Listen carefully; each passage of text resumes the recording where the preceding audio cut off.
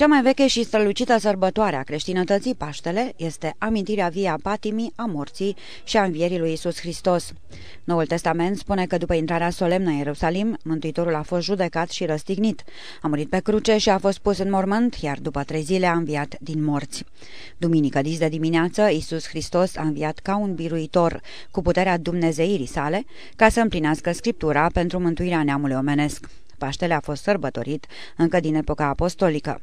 În conștiința bisericii, învierea Domnului nu este doar cea mai veche sărbătoare creștină, ci și începutul și culmea tuturor sărbătorilor și a praznicelor. La Reghin, bisericile s-au dovedit neîncăpătoare pentru mulțimea de oameni veniți să ia lumină sfântă.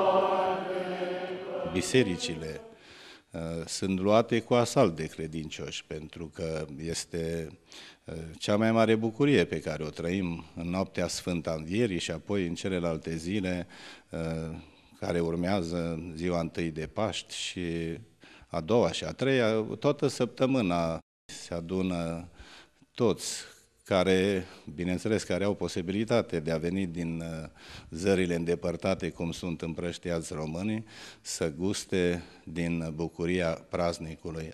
Ați fost la slujba de înviere? Am fost. Aici în oraș? Nu, nu, la noi în comună. Unde? La Văleni de Mureș, la Porcești. Este importantă această slujbă? După părerea mea, cred că da. De ce? Pentru că comemorează învierea Mântuitorului, nu? Foarte importantă, cum să nu? Pentru că ne reamintește de creștinism, de bunăvoire, bună înțelegere. De obicei mergeți la biserică? Da, de obicei mă duc. Acum am fost că am fost ieri la alte. Și foarte importantă pentru creștini, ortodoxi, pentru toată lumea. Noi am fost cu copiii, cu familia, cu fata, toți am fost.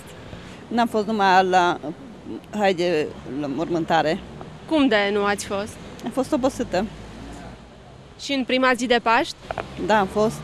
De obicei mergeți la biserică? Uh, mai rar. Dar la înviere ați fost. De ce? Așa e obiceiul. Cu familia? Da, da, da. Și în prima zi de Paște mai mergeți? Uh, am fost și în prima zi, da.